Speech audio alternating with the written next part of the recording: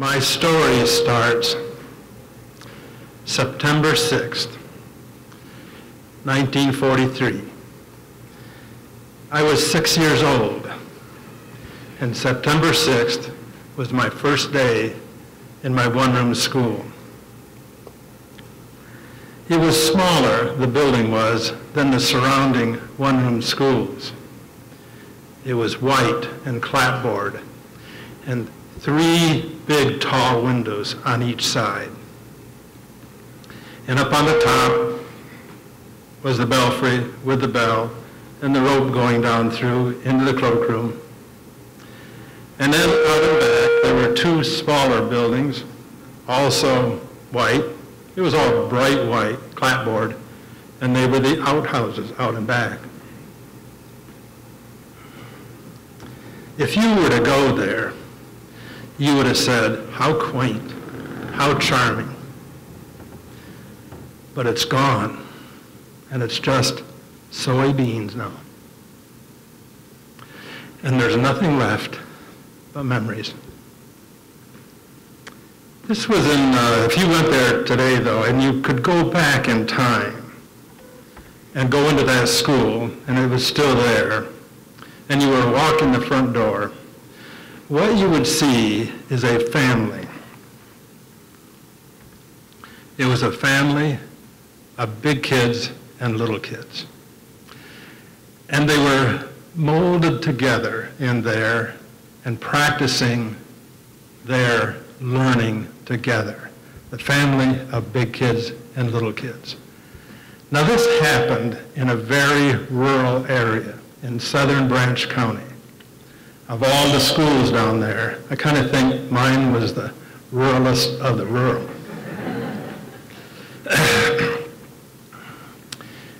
it was, um, um, we called it country school. And the name of my school was Bethel Number Six. And I'd like to tell you everything. There were a hundred stories, a thousand but I'm going to tell you just one, and I call it the softball game. When I was in the fourth grade, that would make me a little kid in the fourth grade, there was a new first grader that came to the school. He was small for his age, skinny, um, thin, short, and he um, he uh, had kind of snarly hair, colics, uncombable. And he spoke kind of jerkily, had unusual, um, jerky manners about him. And I think that in some modern schools, he might not fit in. But in Bethel number six, everybody fit in. And I think it was because of that family of big kids and little kids. He simply had to join the family and he'd be okay. Now, his name was Bernard Williams, but he had a nickname that the kids from his neighborhood gave him, and they called him, they called him Bird Turd. I think it was derisive, of course, but it was Bernard, and they made it into Bird Turd. And it was derisive, but by the time he entered school, Bernard and his friends at home used the name without disrespect. And so we all called him Bird Turd. Simply his name. Actually, he was a real nice kid, very positive, very cheery, smile on his face, upbeat, always found a nice thing to say about people and things. But he also talked a lot. Chatter, chatter, chatter. I mean, it was a lot. And the only thing we could figure out to do after a while was to simply walk away. Seemed rude, but he didn't seem to mind. So we did. And another thing about him was that he would sing to himself softly. most of the time, when he wasn't talking, he'd be singing to himself. Sometimes we would know the tune. Sometimes there wasn't a tune. And even in the classroom, at quiet times, he would hum to himself. We noticed it for a couple of weeks, and then we didn't notice it because it was just nice, pleasant background music. Now also, I think he was a little behind the other kids of his age academically. But it didn't matter, not in that school, because you started where you started and you went as far as you could go. Pretty good concept. Now, outside of the school, outside of the window, there was a softball diamond, ill kept, weedy, and different from the other schools around us. It was rarely used. You see, I think you have to know that we were pretty good academically in our school. That's my opinion. But athletically and socially, eh, not so good. In fact, I think we might have been Southern Branch County's original nerd school. So uh, one day, though, uh, two boys came from a, another school, uh, Maple Grove, and they came to our school, and being the, I don't know, socially inept that we were, it was a big thrill to have somebody come from a, another school to ours, two kids on a bicycle.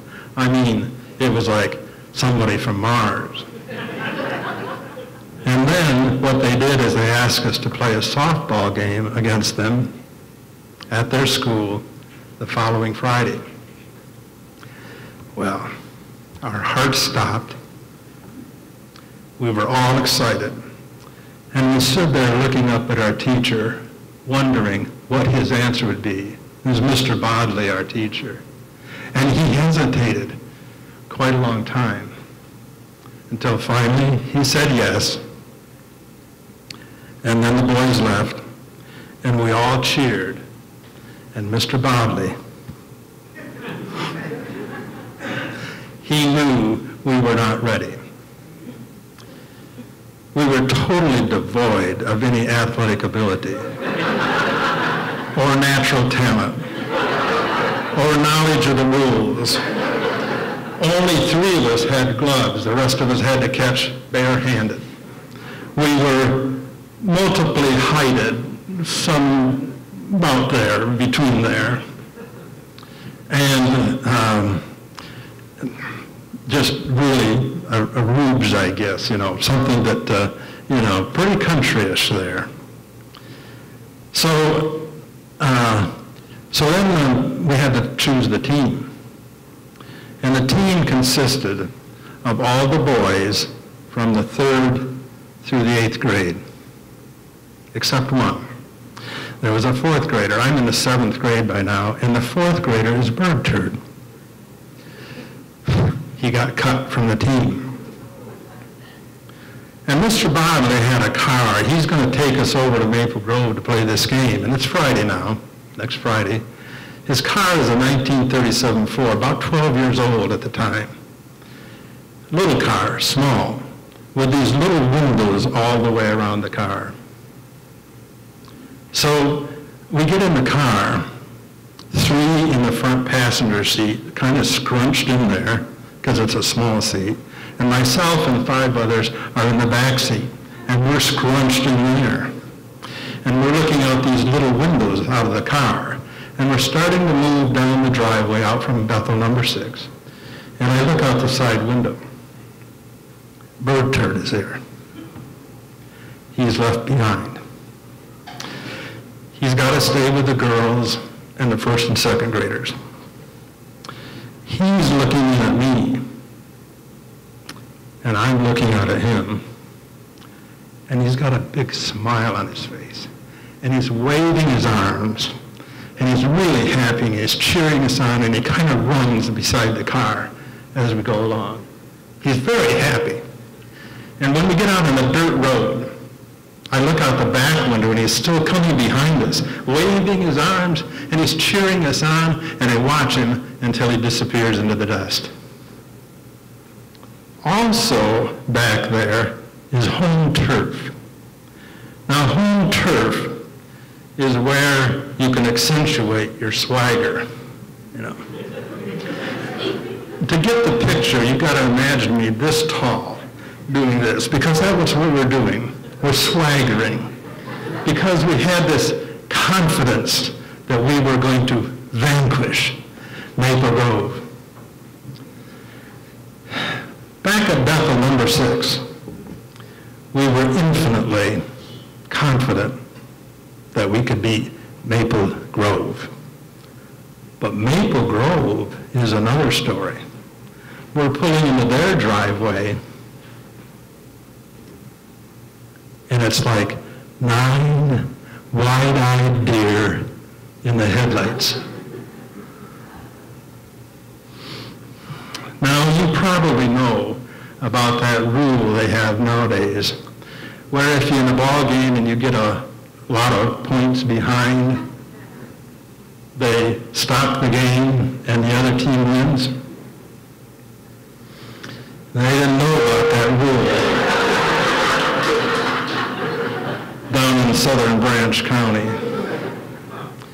But I know now why they call it the mercy rule. We lost 51 to 1.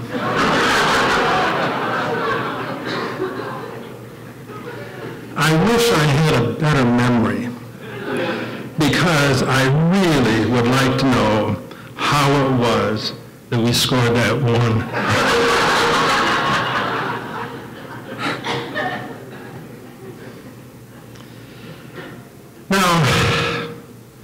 I was in the seventh grade then, and a year later, I'm in the eighth grade. And we played Maple Grove again. But in the meantime, Mr. Bodley coached us twice a week and even more often as game day arrived.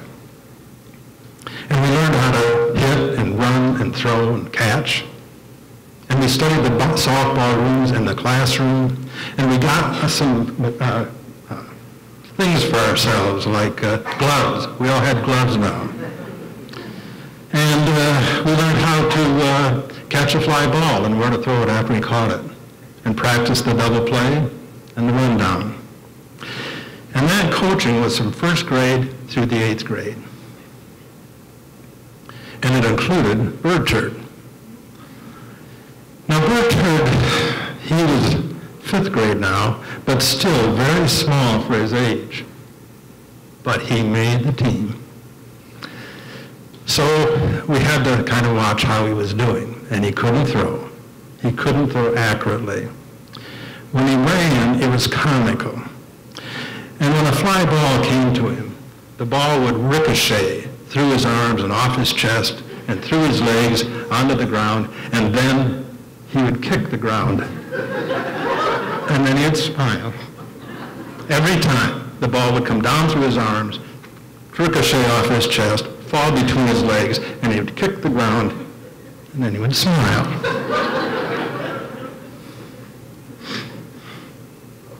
he never caught a fly ball, ever.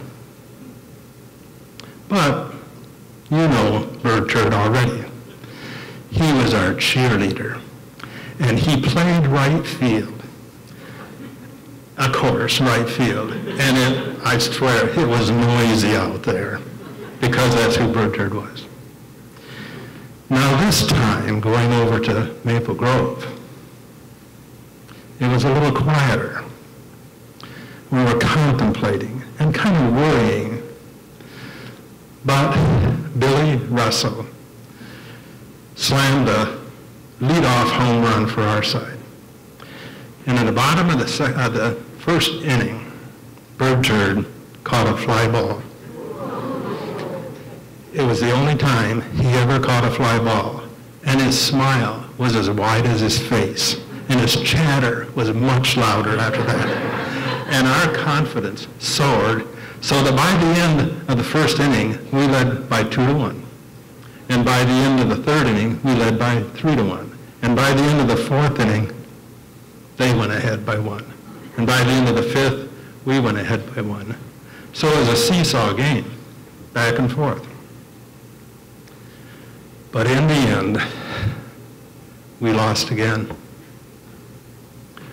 13 to 14. 13 to 14.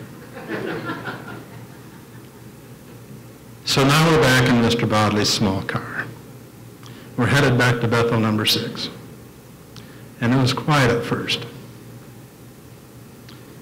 We were all scrunched in, as usual. Bird Turd was being, between two bigger kids whose face was like this. And it was quiet for a minute, maybe two, I don't know. And then I heard Bird Turd say, I feel pretty good. And he said it brightly. And I had to think to myself, even though we lost the game, I felt pretty good too. And I looked around, and most everybody was smiling, including Mr. Bodley. And then I looked over at my old friend Bird Turd with the funny hair. And while I was looking at him, he started singing. So we all joined in. Thank you.